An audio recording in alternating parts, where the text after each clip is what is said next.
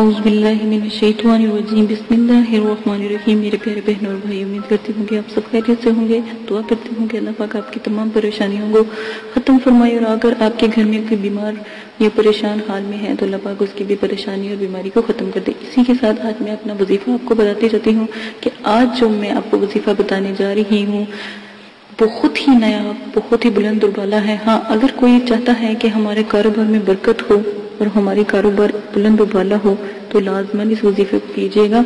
العلیم کا وظیفہ ہے۔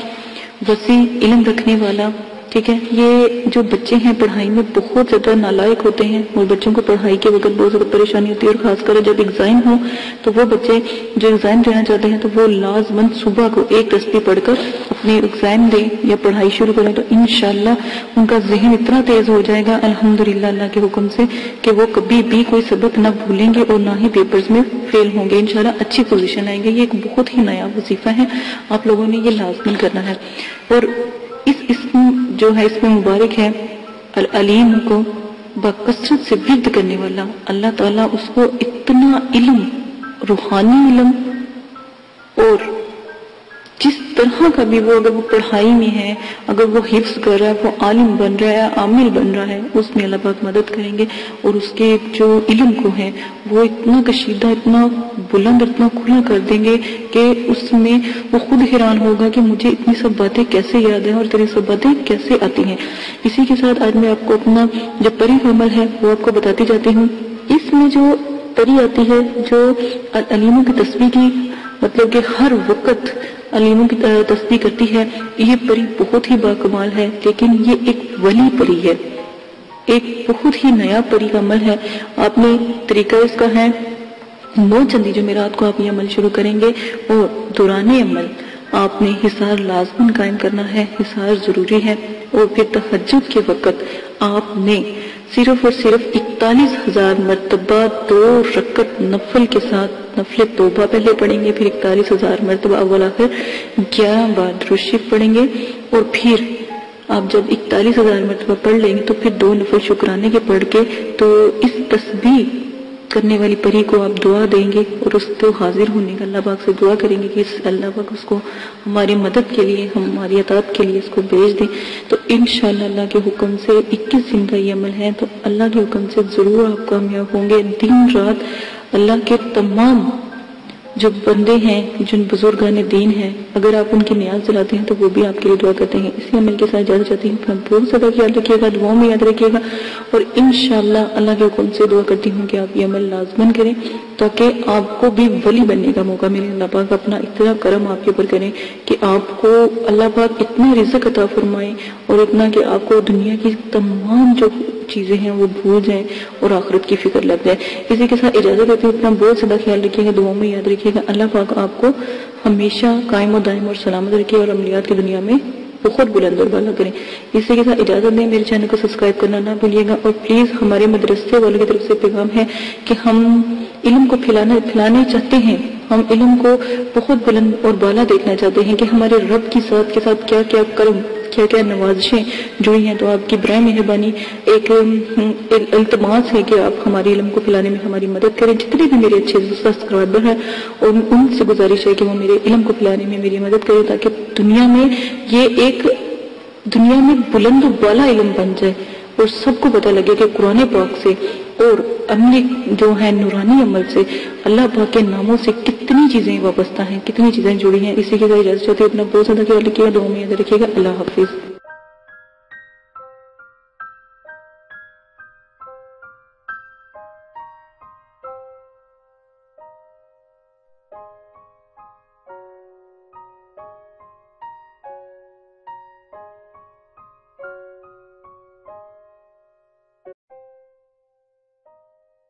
بسم الله الرحمن الرحيم.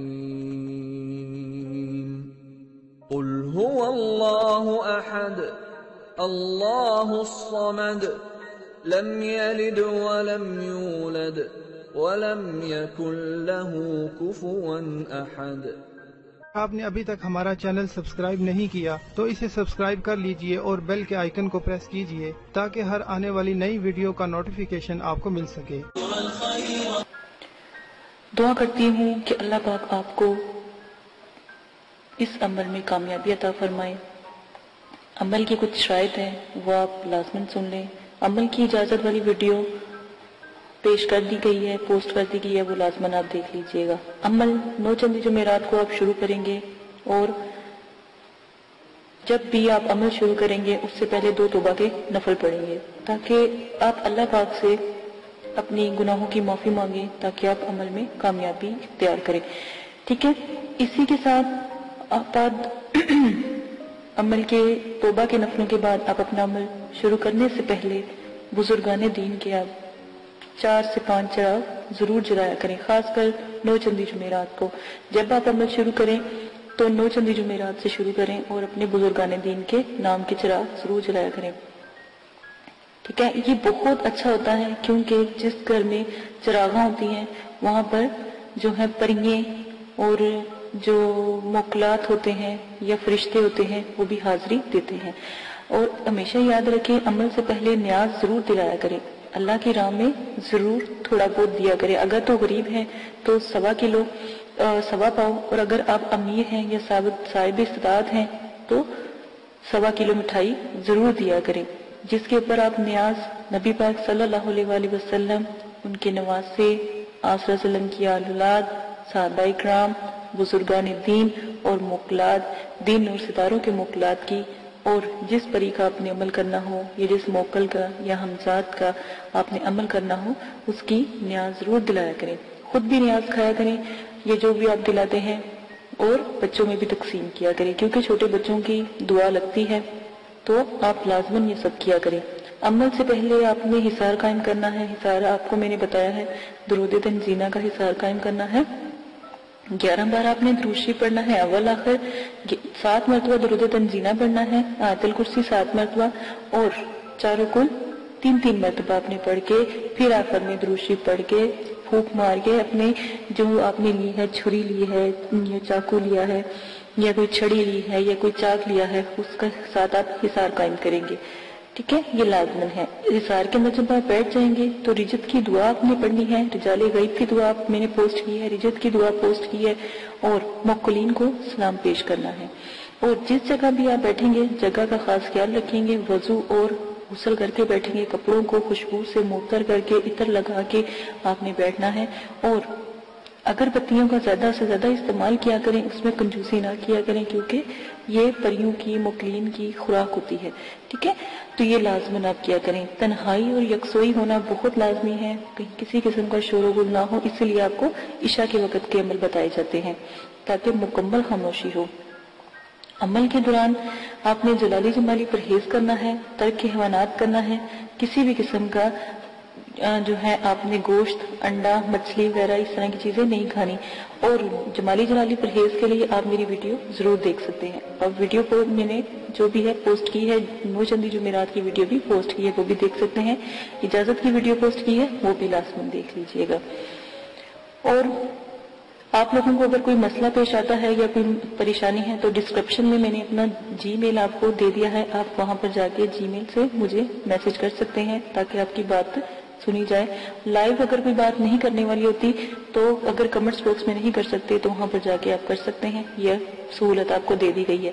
اگر آپ لائیو کریں گے تو کمنٹس میں وہی بات کریں جو آپ کو مناسب لگے۔ ٹھیک ہے؟ اس چیز کا آپ بہت زیادہ خیال رکھیے گا۔ عمل سے پہلے یا عمل کے بعد جب آپ ایک دفعہ حسار کے اندر بیٹھ جاتے ہیں تو کسی بھی بلا ضرورت آپ نے حسار سے باہر نہیں نکلنا۔ جہاں پر آپ نے چاک رکھا ہے یا چھری گاڑی ہے یا چھری یا کوئی لکڑی یا کوئی چاقو رکھا ہے، جہاں پہ حسار کا اینڈ کیا ہے، وہاں سے آپ نے حسار کو کراس لگا کے حسار سے باہر جانا ہے اور پھر دوبارہ کے حسار کرنا ہے، ٹھیک ہے؟ اور حسار بڑا ہونا چاہیے حسار کا دائرہ کھلا ہونا چاہیے تاکہ اس میں آپ چل پھر سکیں، کھڑے ہو سکیں۔ یہ نہ ہو کہ آپ کو عمل کے دوران نیند آ جائے اور آپ لیٹ جائیں یا گر جائیں تو حصار سے باہر ہو جائیں، ٹھیک ہے؟ اس وقت جب بھی آپ جس چیز کا بھی عمل کرتے ہو پہلی جب آپ آیات ادا کرتے ہو، وہ چیز حاضر ہو جاتی ہے، ان چیزوں کا آپ خاص خیال رکھیں گے۔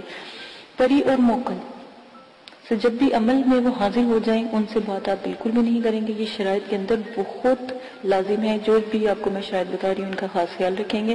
اور جو بھی آپ ان سے شرط طے کریں گے، وہ سوچ سمجھ کے طے کیجیے گا اور ان سے آنے کا طریقہ بھی پوچھ لیجیے گا کہ ہم آپ کو کیسے بلائیں۔ سوچ سمجھ کے شرائط طے کریں۔ اگر وقتی طور پہ آپ کا ذہن کام نہیں کر رہا اور ان کی شرائط مشکل ہیں، تو آپ ان سے کچھ وقت مانگے اور پھر شرائط طے کریں۔ ٹھیک ہے؟ اپنے آپ کو ریلیکس کر کے۔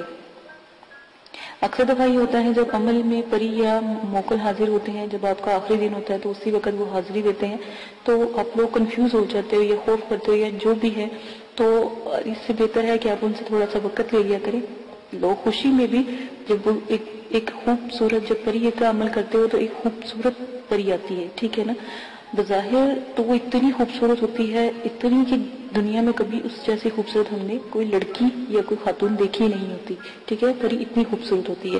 تو اس چیز کا خیال کریں اس کی خوبصورتی پہ نہ جایا کریں۔ اس کے بھی اصول سخت ہوتے ہیں۔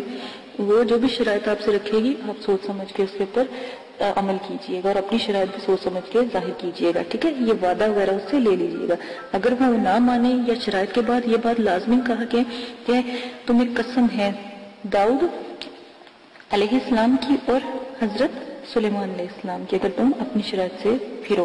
ٹھیک ہے، یہ بھی قسم اس کو دے دیا کریں۔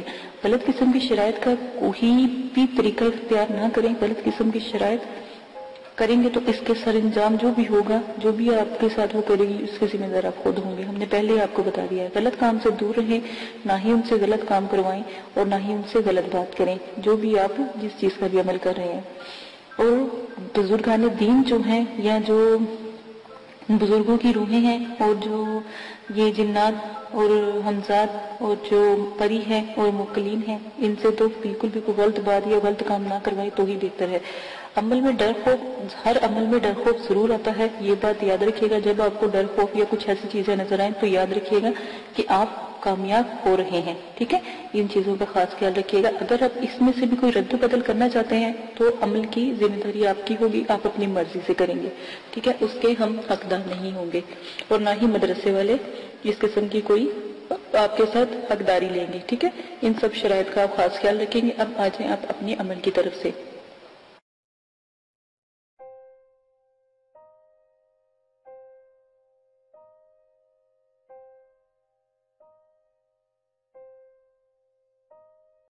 یہ ویڈیو یوٹیوب پر دیکھ رہے ہیں تو ہمارا چینل سبسکرائب کریں تاکہ ہماری تمام نئی آنے والی ویڈیوز آپ بآسانی دیکھ سکیں۔ شکریہ۔